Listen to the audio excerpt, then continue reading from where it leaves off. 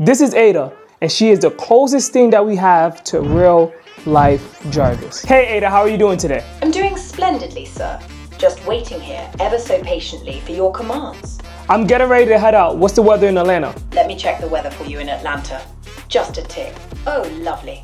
It's sunny with a temperature of 67 degrees Fahrenheit.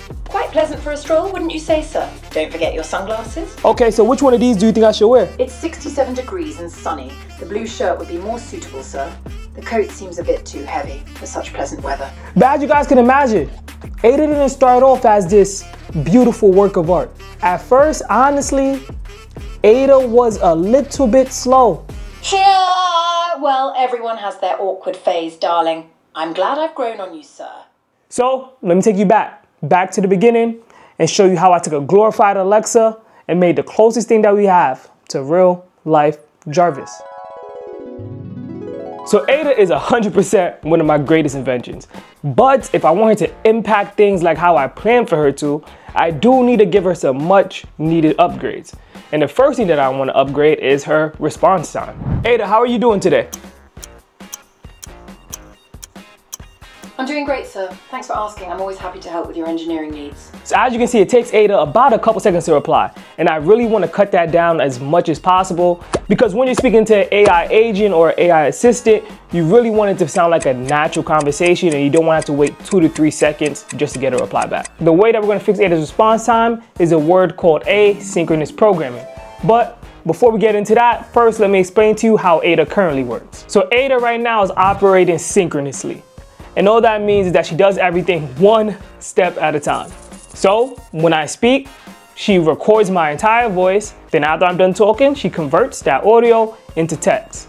And then she sends that text to the model, waits for the model to get its full response, prints out that text, and then the text is converted to audio. And even though it works, it's not optimal because in reality, we do not do things step after step after step. Sometimes you want to do multiple things at a time. So that's when asynchronous programming comes in. So as I begin to talk, Ada will start transcribing my audio into text. And then she will start sending each word into our AI model. And instead of waiting for the entire response from Ada, which might take a few seconds, we are going to be getting the response back chunk by chunk. So with those changes made, let's do a quick comparison between the old version of Ada with the new version of Ada. Ada, how are you today? I'm doing great, sir. Thanks for asking. I was just thinking about how I could help you out today with your engineering needs. You know, the usual. old version. Hey Ada, how are you doing? I am doing splendidly, sir. How may I assist you with your engineering endeavors today? And as you can see, the response is almost immediate.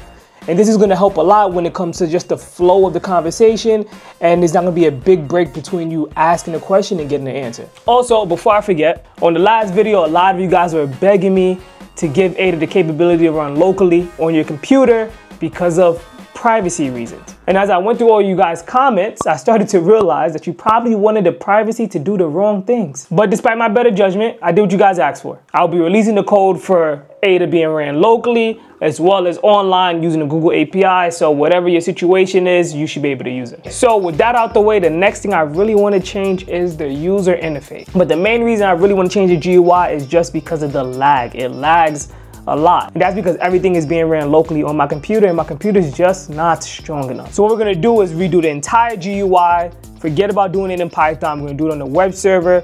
So every time I run Ada, my computer is not sounding like a jet. But of course, this new GUI isn't just for show. We also had to add in a couple of new features. So first of all, of course you could just talk to Ada. Hey Ada, how are you? I'm doing splendidly, sir. Always a pleasure to be of service. I trust you are having a marvelous day as well. But if you don't feel like talking, you could just type to her.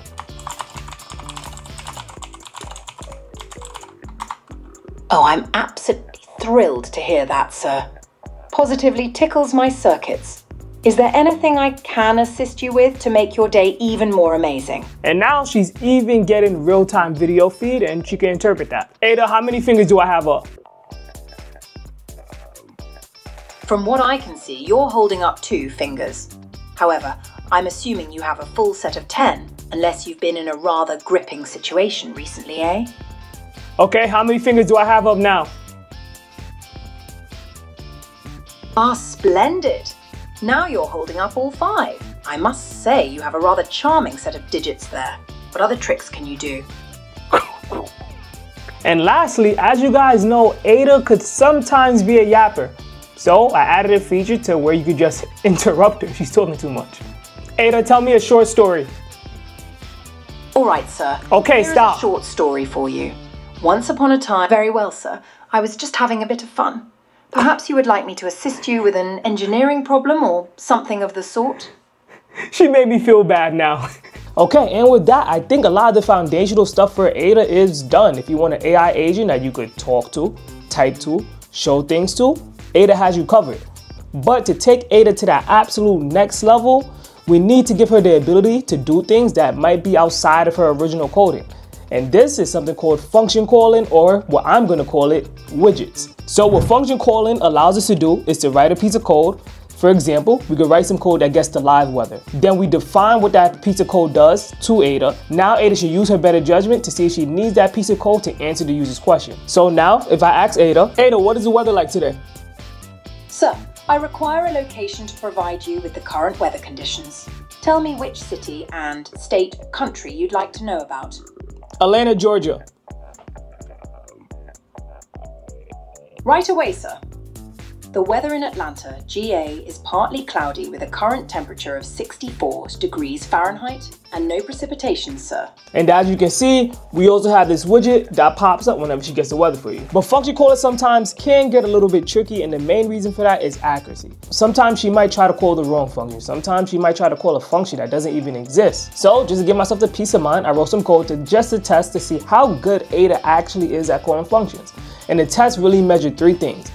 First, it measured if she called the function when the function was needed. Then it checked to make sure if the right function was called. And lastly, it made sure that it didn't call a function when the function was not needed. So if I say, hey Ada, how are you doing? There is no function that is needed for her to answer that question. And after running the test multiple times, Ada scored anywhere from 87.5 to 95%, which is actually insane. And that gave me the confidence and the peace of mind that I could make multiple widgets and she'll be just fine handling them. So let's make some widgets. The first set of widgets, I really wanted it to focus on getting real-time information. So we're already doing that by getting the weather. But I also wanted to be able to get traffic information, as well as distances to get to certain places. Hey Ada, how long is the drive to Statesboro, Georgia from Atlanta, Georgia? Away, sir. Let me check that for you. The drive to Statesboro, Georgia from Atlanta, Georgia is approximately 3 hours and 4 minutes, taking current traffic into account. The next thing I wanted to add to get live information is the most powerful search tool in the world, and that's Google, and giving Ada the ability to Google things. Ada, search news on the stock market. Right then, sir. The stock market news is a bit of a mixed bag, isn't it? Seems like President Trump's tariffs are causing quite the kerfuffle, leading to some uncertainty and volatility.